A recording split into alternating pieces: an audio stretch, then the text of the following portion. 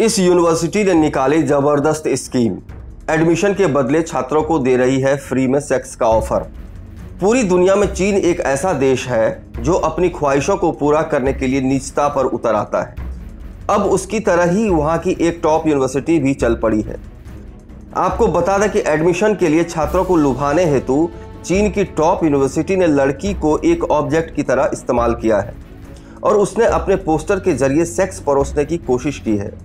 ऐसा इसलिए कि लोभ में आकर छात्र उनके यहाँ एडमिशन ले सके। नानचिंग यूनिवर्सिटी ने अपने ऑनलाइन एडवर्टीजमेंट में ऐसे आपत्तिजनक साइन बोर्ड पोस्ट किए, जिसके बाद यूनिवर्सिटी पर लोगों का गुस्सा फूट पड़ा।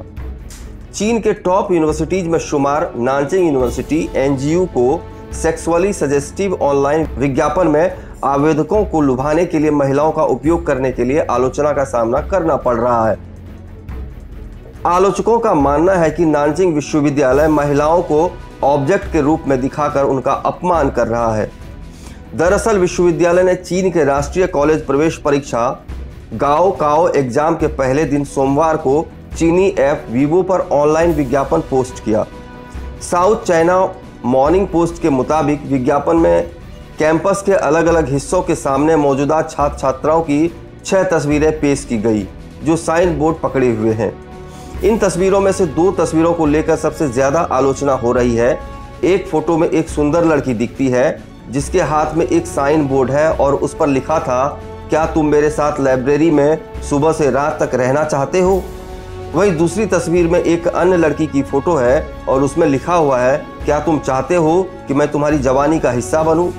हालाँकि कुछ अन्य तस्वीरों में लड़के साइन बोर्ड पकड़े हुए दिखते हैं, जिसमें आपत्तिजनक कुछ नहीं लिखा हुआ है। उदाहरण के तौर पर एक शख्स को एक साइन बोर्ड पकड़े हुए चित्रित किया गया था, जिसमें कहा गया था, क्या आप एक ईमानदार, मेहनती और महत्वाकांक्षी एनजीयू छात्र बनना चाहते हैं?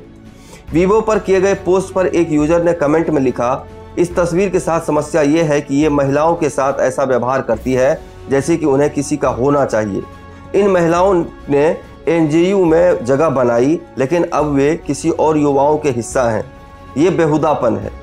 वहीं अन्य यूज़र ने लिखा, एक टॉप यूनिवर्सिटी होने के नाते आपको लोगों को लुभाने के लिए हॉट लड़कों और सुंदर महिलाओं का उपयोग करने के बजाय अपने संसाधनों और अपने शिक्षाविदों की गुणवत्ता के आधार पर भर्ती करना चाहिए। हालाँकि आलोचना के बाद एनजीयू ने विज्ञापनों को हटा दिया है। इस चैनल को देखने के लिए लाइक करें, सब्सक्राइब करें और बेल आइकन दबाना ना भूलें।